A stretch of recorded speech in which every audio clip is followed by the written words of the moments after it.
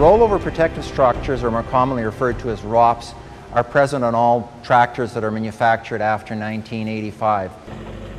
If we uh, look at the situation with rollover protection in agriculture, over the last uh, 30 years, we've seen a tremendous increase in safety awareness.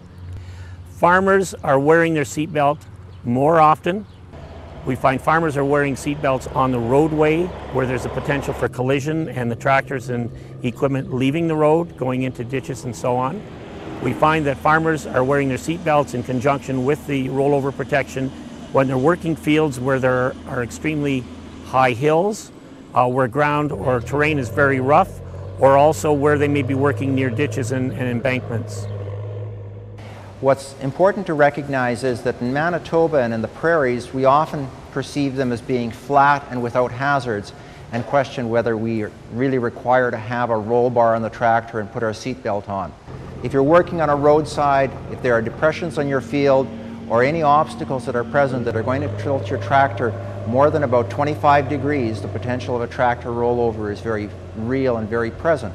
So having a rollover protective structure, a ROPS on your tractor, and using the seatbelt can make the difference between life and death.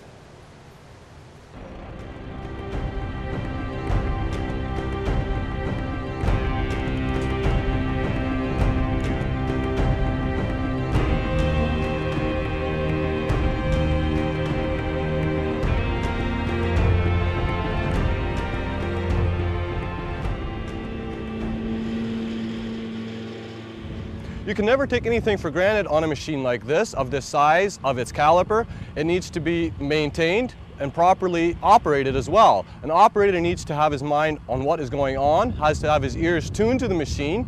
That comes with experience.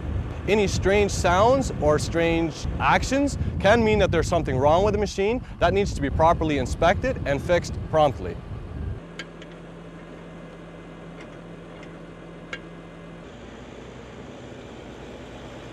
One of the, the major problems with bunker silos is that with single walls, uh, when farmers pack their piles, they could get too close to the edge and they could slip right off and roll the tractor and get a severe injury. We have tried to prevent that by making two walls and uh, a berm, either a dirt berm or a gravel berm, so that when you slide down, you get caught by the dirt berm and then you can just be pulled back in safely.